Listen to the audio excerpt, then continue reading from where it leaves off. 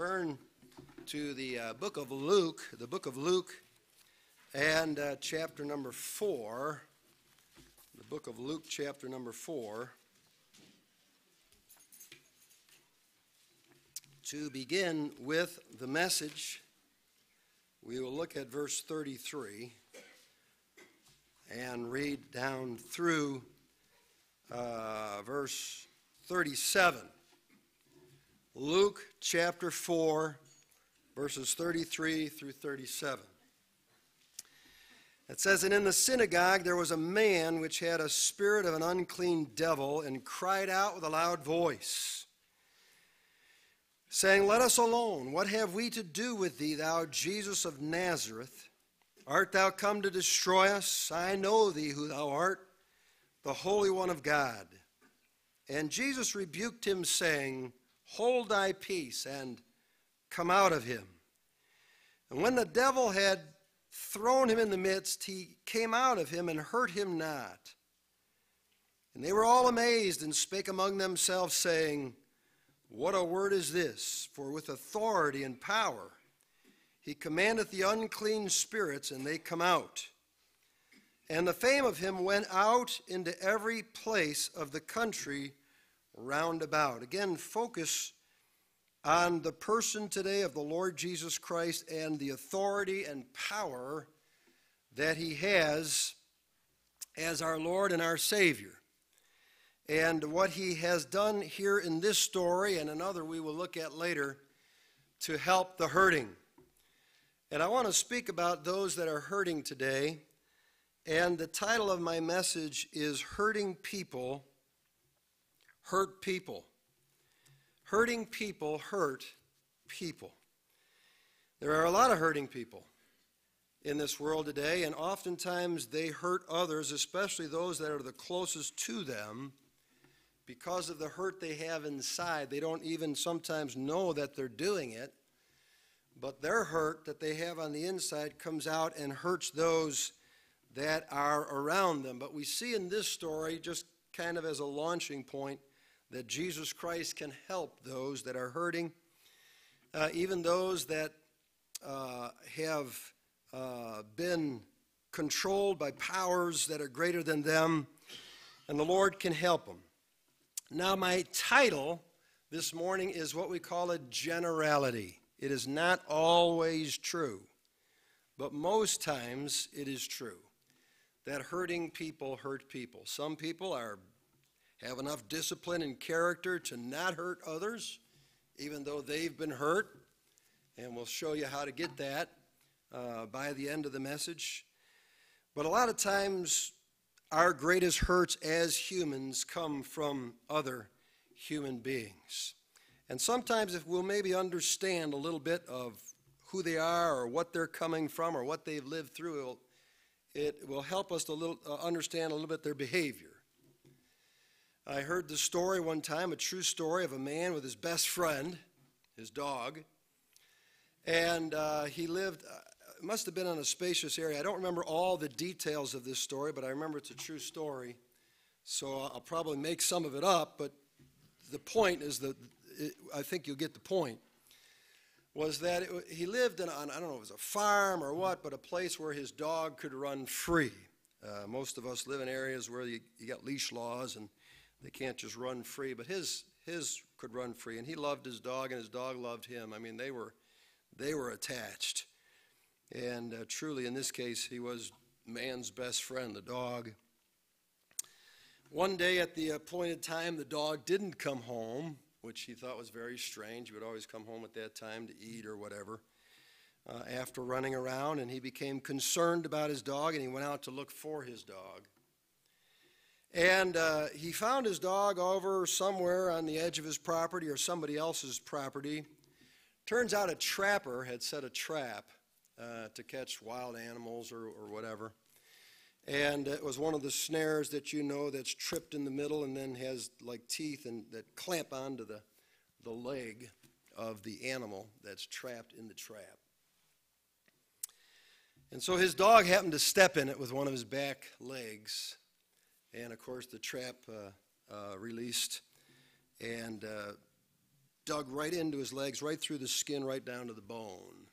And the more that the dog tried to get out of the trap, the worse it got hurt. And the hurt was great. The owner, well, he thought, I'll just walk up to my dog and, you know, undo the trap and let the dog out and let the healing begin. And so as he approached his dog, his best friend, the dog went, and attacked his owner. The owner backed off and didn't know he'd never seen his dog act that way before. And so he tried it again, and the dog attacked him. And pretty soon the owner felt hopeless and helpless because here all he was trying to do was help his dog. He was trying to do what was best for his dog, and the dog did not understand that. And so as a result, the dog lashed out at its owner, its best friend. And why? Why? Because it was hurting. Because it was hurting. And because it was hurting, it didn't realize that when somebody approached to help, that that person could set them free from the trap and the healing could begin. And so they attacked their best friend. We see here a demon possessed man attacking Jesus. The devil uses the voice of the man to cry out and say, Let us alone. Well, that's the worst thing you could say to God. Leave me alone. Let us alone. What have we to do with thee, thou Jesus of Nazareth? Art thou come to destroy us? And so this man's voice is used to verbalize what the demon is saying. And the man with the unclean spirit does not realize that Jesus Christ is the one that could help him, the one who could set him free, the one who could deliver him from this. Brethren, most of us, if we've lived on this earth for very long, have been hurt by somebody. And hurting people hurt people. Oftentimes, the hurt and the pain is deep, and, and somebody approaches us who, who wants to help us, uh, who wants to be our friend, who wants to, be, to set us free. And, and a lot of times, we will lash out at that person or we'll lash out at God. Remember, uh, one of the ladies in the Old Testament who was hurt uh, so bad by her circumstances.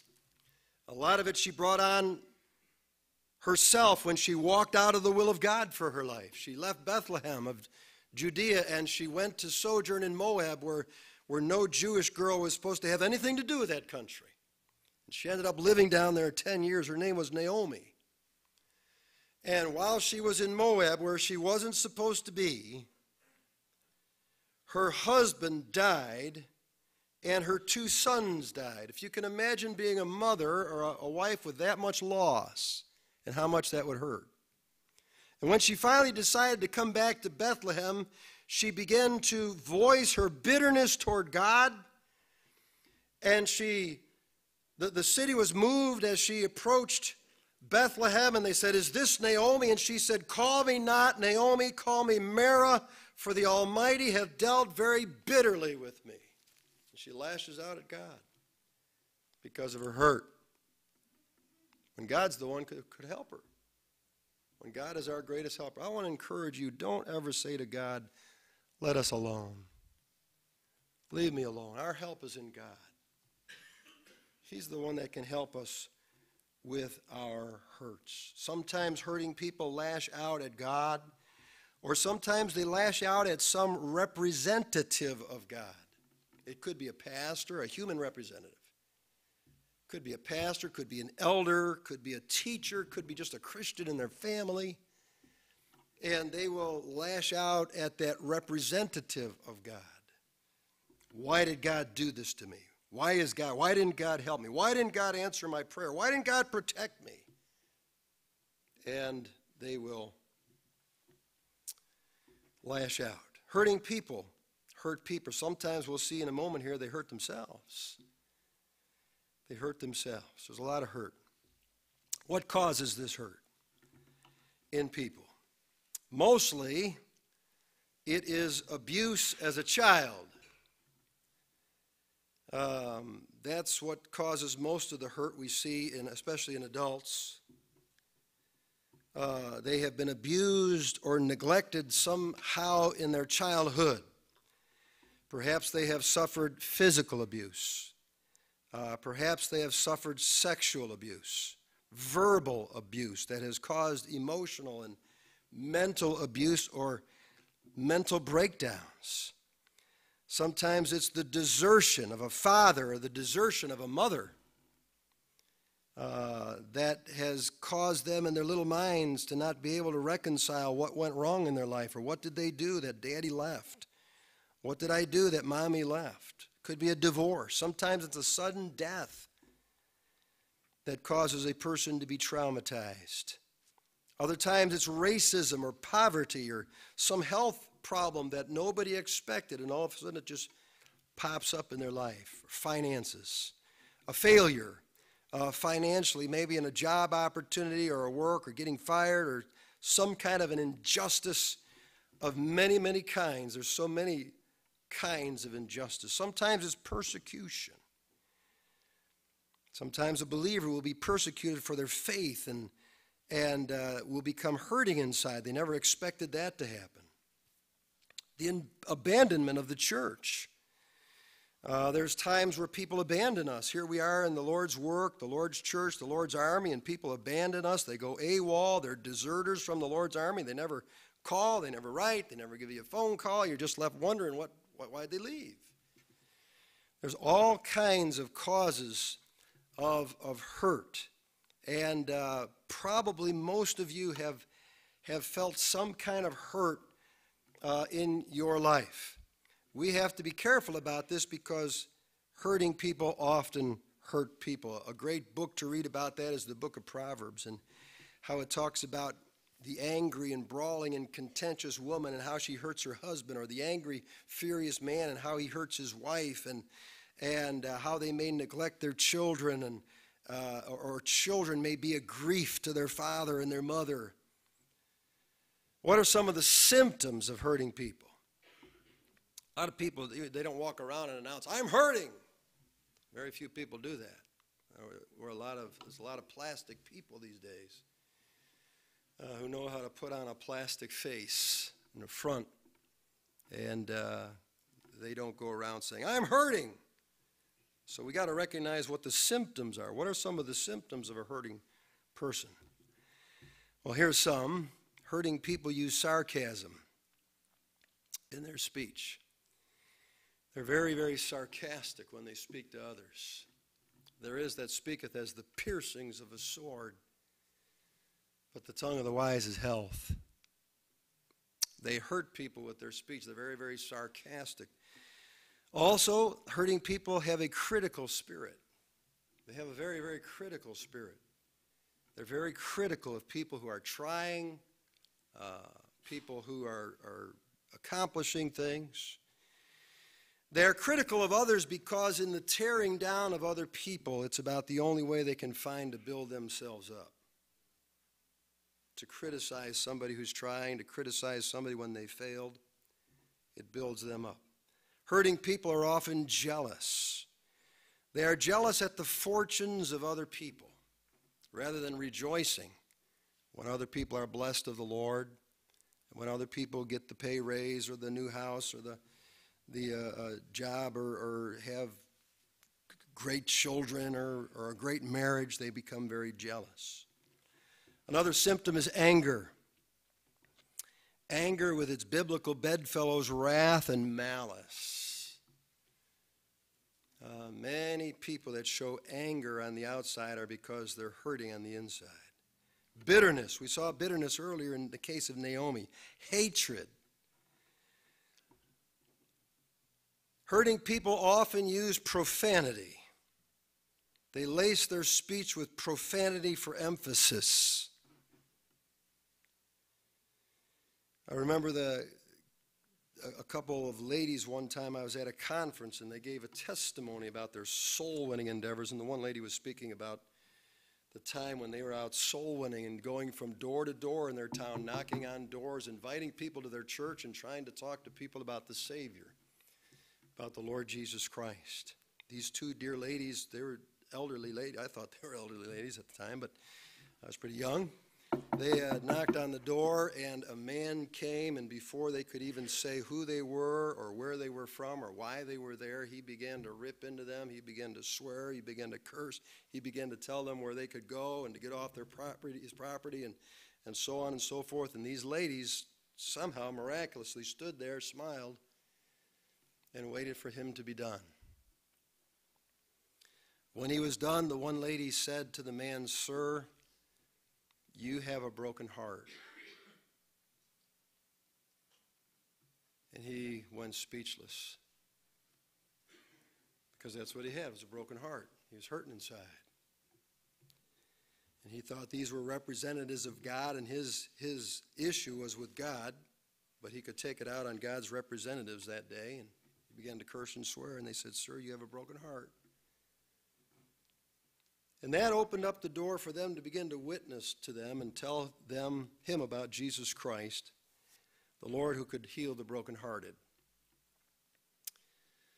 And as they began to speak and share the gospel, God began to move on that man's heart. That God, you don't have to run out and say, Let us alone to God, but you can receive God, and God is your help. And they went through the gospel, and I remember how they testified how that man bowed his head and his heart before God and with tears prayed and asked the Lord Jesus Christ to be his Savior that day. And his life was changed. And he got into church and he got discipled. He began to grow in the Lord and find, found out that the, the God who was approaching him over and over and over again while he was in the trap just wanted to help him and set him free so the pain could stop and the healing could begin. I remember a horse on our farm. We only had one or two horses, and uh, we would just border them. They they were just with us. One got loose, and we had barbed wire fences all around the fields, and got loose, got spooked, and it ran as fast as a horse can run right into a barbed wire fence. And I remember the barbed wire became wrapped around the horse's body and, and legs, and especially the back leg, and, and how my dad and another farmer began to approach the horse to try to help the horse out of the out of the uh, trap, the ensnarement that it had gotten into, and and uh, the horse did not understand why they were approaching the horse and tried to run and pull the barbed wire and the post out. It was just amazing the, the, the strength. I remember being so spooked I stayed back by the farm.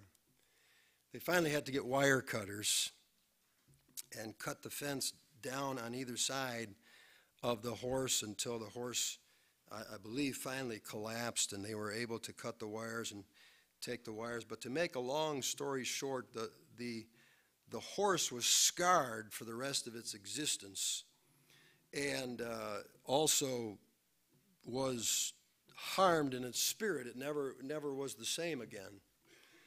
And uh, was confused about what had caused the hurt and thought it was my dad and thought it was the farmer who were just going to try to help and set it free. And sometimes we can be that way as people, those who approach us and try to set us free and sincerely ask us, how you doing? And we, we put up a defense. I'm fine. Why are you asking? Why do you ask? I'm fine.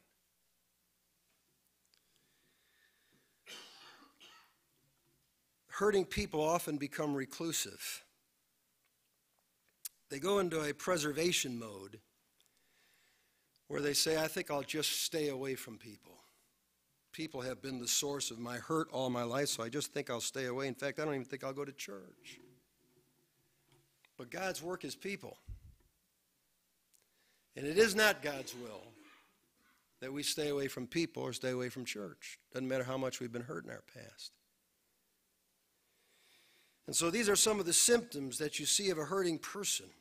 It's sad but true, hurting people are often contaminated with these terrible symptoms, and they don't even know why.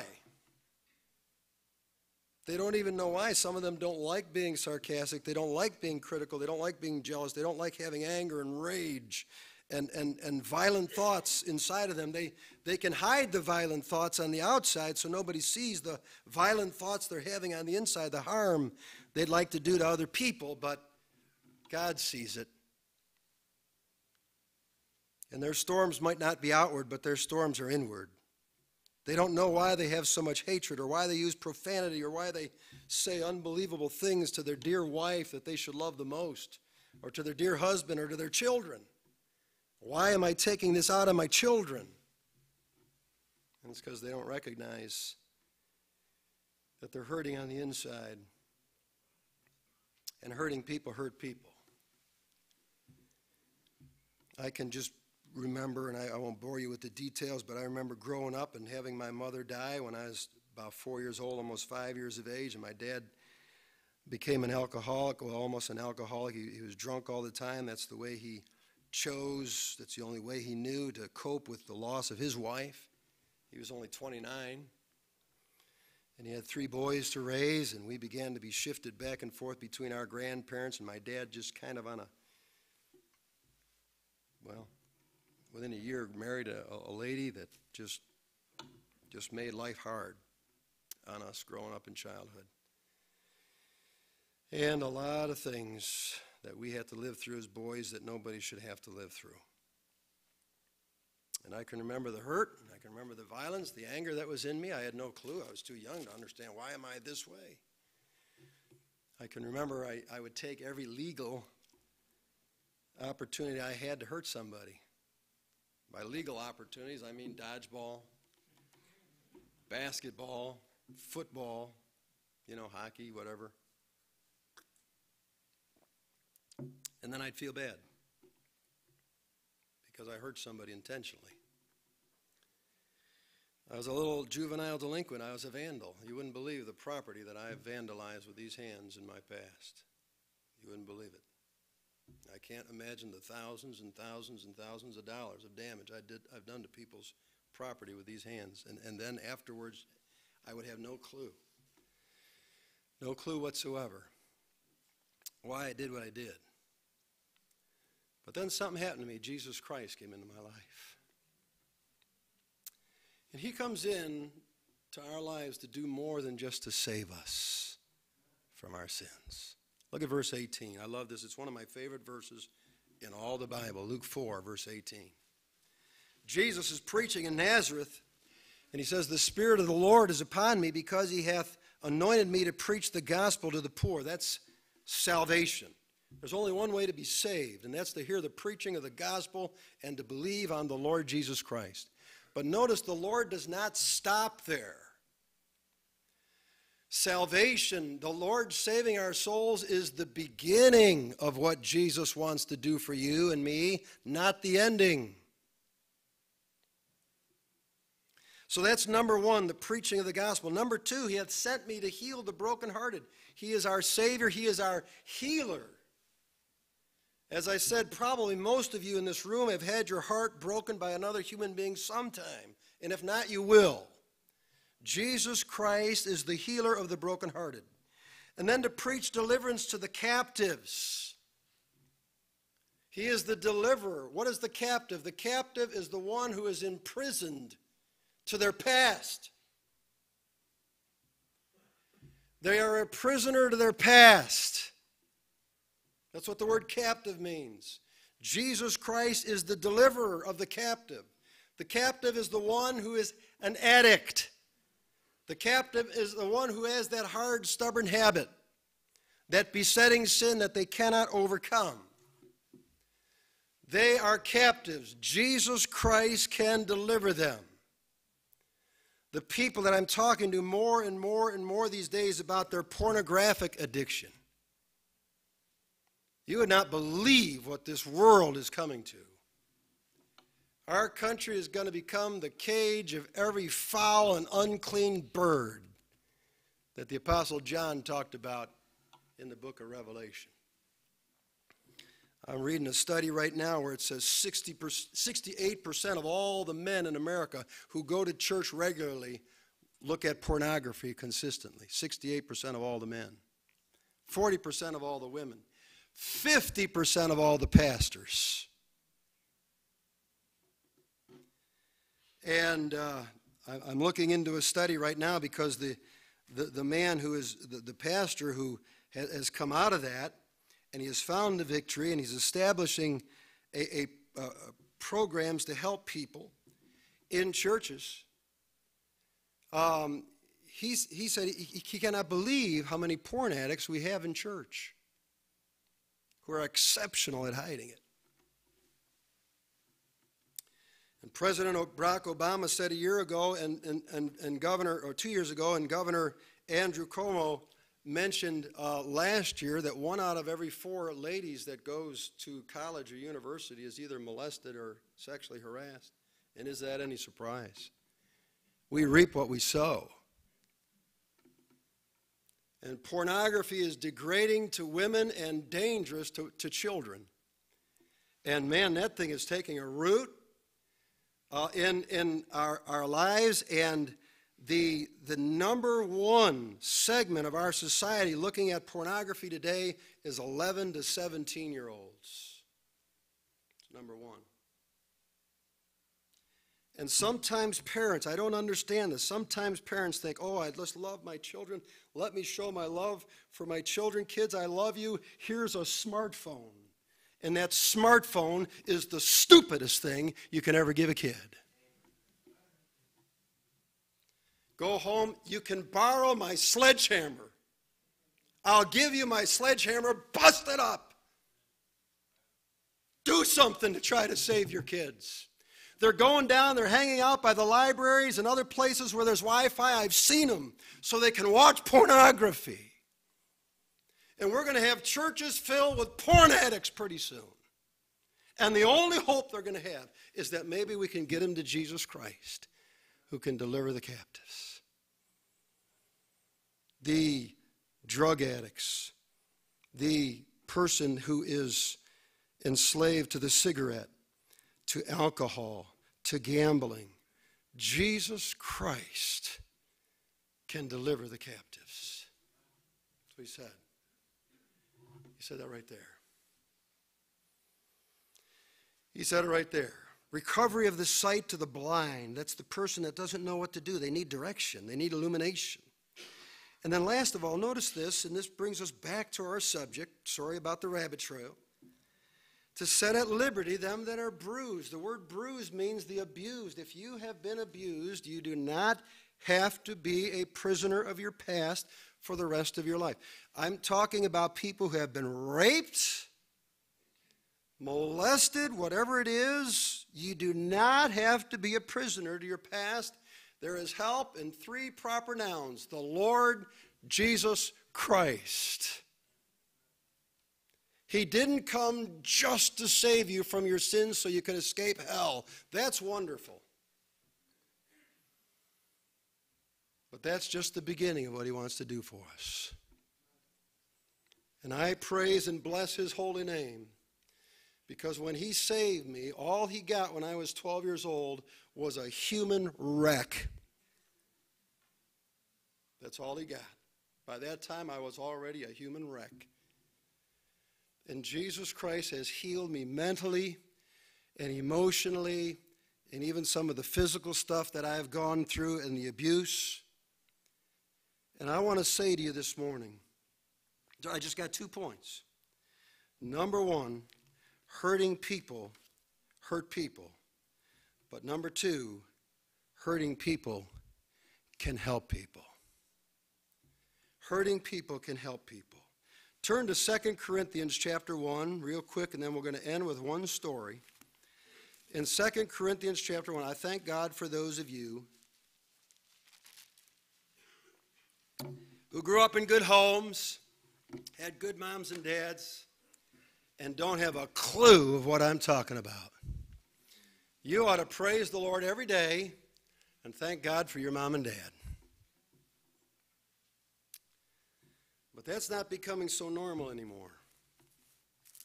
And the Bible says here in 2 Corinthians chapter 1 and verse 3, blessed be God, even the Father of our Lord Jesus Christ, the Father of mercies and the God of all comfort, who comforteth us in all our tribulation, that we may be able to comfort them which are in any trouble, by the comfort wherewith we ourselves are comforted of God.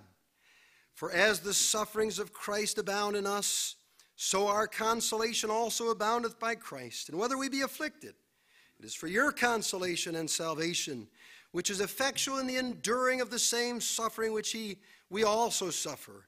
Or whether we be comforted, it is for your consolation and salvation. And our hope of you is steadfast, knowing that as you are partakers of the sufferings, so shall ye also be also of the consolation. Notice that. When we suffer, we're comforted so we can comfort others, verses 3 and 4. One of the things, now, God did not ordain the suffering that you went through when you were a little boy or a little girl. That stuff came on you because of Satan, because the devil gets in people and gets hurting people to hurt people. Don't blame it on God.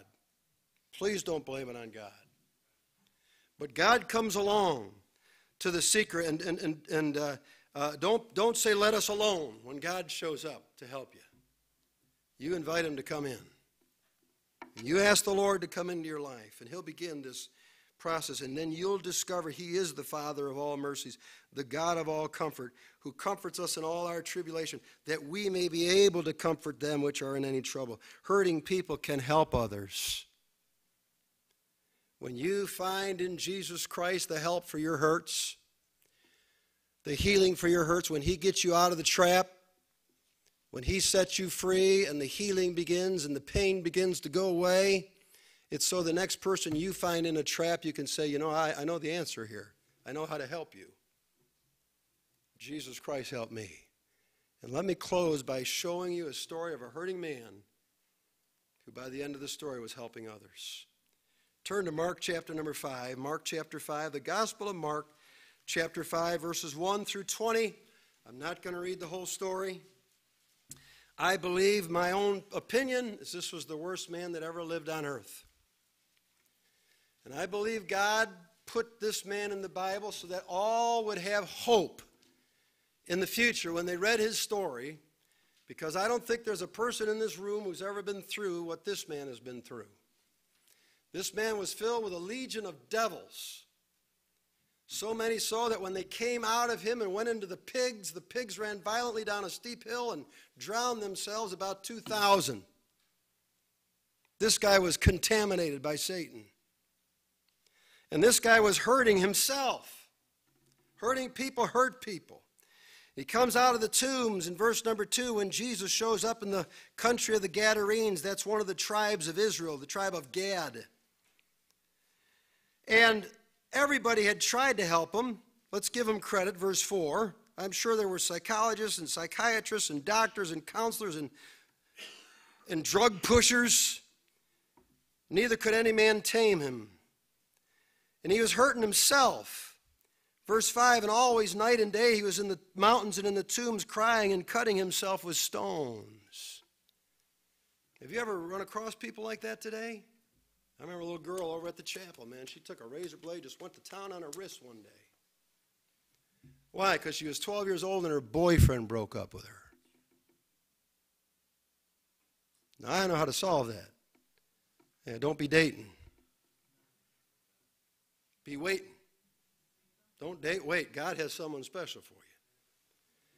But why was she dating boys when she was 12? Because her father deserted her and her mom and brothers two years earlier for another woman. And she could not figure out in her mind why did, dad, why did dad leave us? You know, dads, you are one of the keys to your kids having sound mental health and emotional health. You would not believe the power you have in your role for your children. You praise your children. You got to discipline them, sure. You got to you got to chastise them when they're bad. I understand that, but you praise your kids, and don't you worry about being their friend. Okay, you just be the parent, and you teach them discipline, and you teach them character, and you teach them uh, hard work, and, and, and, and you, you just build memories with them. And I cannot tell you the, the powerful role that a father has in his children's mental health and emotional health. And that's why little girls do that. That's why people go plaster themselves with tattoos and get all kinds of uh, piercings and, and start cutting themselves and everything because they, they want attention that a father could give them. They want someone to pay attention to them because dad won't. This guy's cutting himself with stones. Jesus comes. The devils speak, but Jesus helps the man. Come out of the man, thou unclean spirit. What's your name? Legion. They go into the pigs. They run violently down a steep hill. You know the story, but I, I want to just close. I got to close up here. It says in verse, skip to verse 15. And they come to Jesus and see him that was possessed with the devil and had the legion sitting and clothed and in his right mind. And they were afraid. They, they, they never thought such a miracle could take place in a human being, but it can when Jesus is allowed to work. I consider myself a miracle.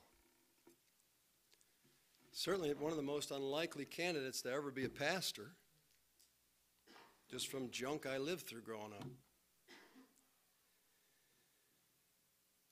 But Jesus healed this man, saved him, clothed, the right mind, and now the hurting becomes the helper. Let's close with this. Verse 19. Howbeit Jesus suffered him not, but saith unto him, Here it is. Jesus commissions him. Go home, verse 19, to thy friends, and tell them how great things the Lord hath done for thee, and hath had compassion on thee. You notice it didn't take Jesus too long either. Now, what did he do with his commission? This hurting man who's now commissioned to be a helper. You go to your town. Tell them the great things the Lord did to you. What do you do? Verse 20, here it is. The hurting becomes the helper. And he departed and began to publish in Decapolis how great things Jesus had done for him. And all men did marvel. See that? He became the helper. He went to Decapolis, the, the, the region that Decapolis means the ten cities. And he went to those 10 cities and he just started to publish and tell everybody, let me tell you what Jesus Christ did for me. And it says they were all amazed. They marveled. They marveled. You see, it's not God's fault for the things people did to you. Blame it on sin, blame it on Satan, blame it on something else beside God. And it's, it's horrific what people do to each other sometimes. But there is help in the Lord Jesus Christ. He's the same today as he was in this story. And this man got help from Jesus Christ from his hurt. He was delivered, and then he became the helper. He went around becoming the preacher. And everybody marveled, said, Wow, look what God did for him. You know, it says in Philippians 1 and verse 6, It is God that worketh in you to will and to do of his good pleasure. Proverbs 2, uh, Philippians, I, I, don't know if I said Proverbs, Philippians 1, verse 6. Philippians 2, verse 13 says, He that hath begun a good work in you shall perform it until the day of Jesus Christ. He's just going to keep working on you till the day he takes you home to heaven. Isn't that great? God doesn't give up on us. I'm not trying to make light of what you've been through. But I'm saying to you today that God can help you. And God can turn you into a minister to other hurting people. Don't blame God for what you've been through. And but use it. Come to Jesus Christ. Let him be your savior. Let him be the healer of your broken heart. Let him be the deliverer of your captivity. And let him be the one that heals you of your bruises and abuse. We do not, I'll say this till I die because I, the Bible says it and because I've experienced it, but most of all because the Bible says it, none of us have to be prisoners of our past. And none of us have to keep hurting other people. God changed me from a violent juvenile delinquent to a loving husband, a loving father, and I give him all the glory. All the glory. And whatever it is that you've been through in your life, please decide today I'm not going to spend my life hurting people because I'm hurting. I'm going to find the healing for my hurt through Jesus Christ our Lord so that when it goes away, I can start helping people and making a difference in their lives. And man, have we got some days coming. Yikes. This country, you, you would not believe the sin that is being sown in this nation today that's going to lead to violent, abusive acts of people. And we're going to have to be there to pick up the pieces. Welcome them into the Lord and to, your church and to tell them there's help and there's hope in Jesus Christ our Lord. Shall we pray? Our Heavenly Father, help us today to become able ministers of the New Testament. Lord, we pray. Father, help those that are hurting this morning to realize that they do not have to live the rest of their life, that Jesus came to do more than to just save them. That's just the beginning of what the Lord can do for us. Our Heavenly Father, we pray you'd bless now this invitation and time of prayer. And we pray that everybody would leave the church with hope today that Jesus Christ can help them. And Lord, some of us have hurt people. I think of the Apostle Paul. Man, did that guy hurt people. He just went around hurting people. But then you saved him. And he became one of the best Christians the world's ever known. God, help us to become great Christians. And we pray in Jesus' name. Amen. Let's turn to page 168. 168. Here's a great thought Does Jesus care? Oh, yes, he cares. I know he cares. His heart is touched with my grief. I don't know what you've gone through, what you're going through right now, what you're struggling with. Maybe you're here this morning, you're saying, I don't know why I act the way I do. I don't know why I hurt my kids, my husband, my wife, other church members. I don't know why I'm sarcastic. I don't know why I'm critical. Why am I jealous? Why am I angry? Why do I have these violent thoughts in me? But if you'll be transparent today with God, I think God will meet you. God will help you today. But someday in your life, you're going to have to be honest and humble, like I was, and say, Lord, I'm full with so much violence. God, I need your help. I'm hurting people. You want me to spend my life helping people? You're going to have to help me with this. God has helped me. I know He'll help you. Won't you stand with me, sing, Does Jesus Care? Won't we come around this altar today and just pray for God's help again today? Pray for God's help.